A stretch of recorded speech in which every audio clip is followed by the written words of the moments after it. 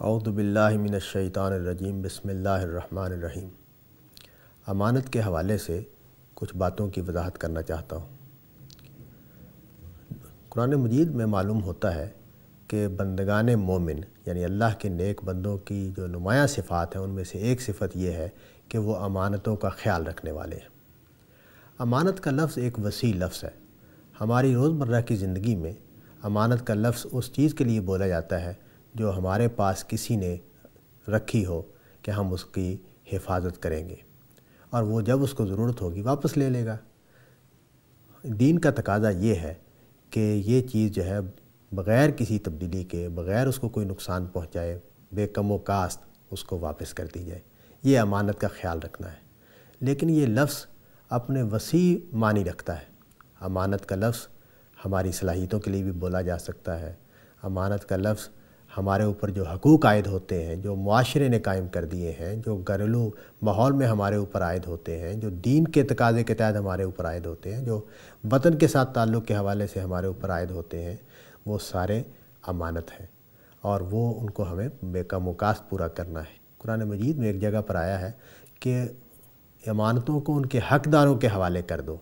तो यहाँ भी अमानत का लफ्ज़ बड़े वसी मानी में इस्तेमाल हुआ है कि जिसका जो हक बनता है उसको उसका हक मिलना चाहिए। किसी को उसके हक से महरूम न रखा जाए। जो उसकी हैसियत बनती है उसको वो हैसियत दी जाए। जो उसके तकाजा बनता है उसके तकाजे पूरे किए जाएँ। जहाँ उसको प्लेस करना चाहिए वहाँ उसको प्लेस किया जाए। तो ये भी अमानत को पूरा करने के मुतरदफ़ है।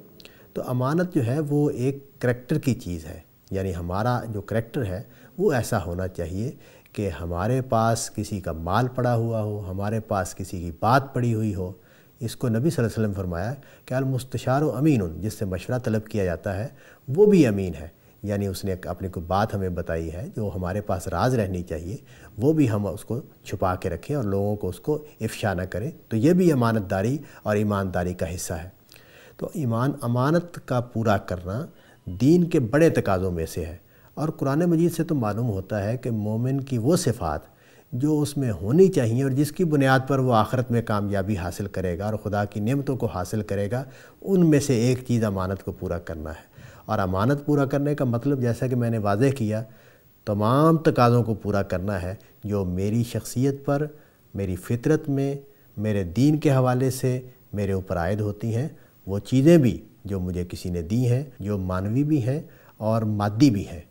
यानी मेरे पास किसी ने कोई माल रखा हुआ है, वो तो भी। मेरे पास किसी ने अपनी को बात रखी हुई है, वो भी इसके दायरे में आती है। तो हमें इसकी कोशिश करनी चाहिए कि जो हक हम पर कायम हो गए हैं, जो चीज़ें किसी की हमारे पास पड़ी हुई हैं, जो बातें मेरे पास किसी की हैं, वो सारी चीज़ें हिफाजत के साथ मौजूद रहें और उनमें कोई तब्दीली न की जाए और उनकी पूरी तरह हिफाजत की जाए। और जब उसका हकदार सामने आ जाए, उसको उसको पूरी तरह अदा कर दिया जाए, उसमें कोई कमी ना रखी जाए। तो ये अमानतदारी का तकाजा है और ये वो सिफत है जो एक बंदा मोमिन की लाजमी सिफत है।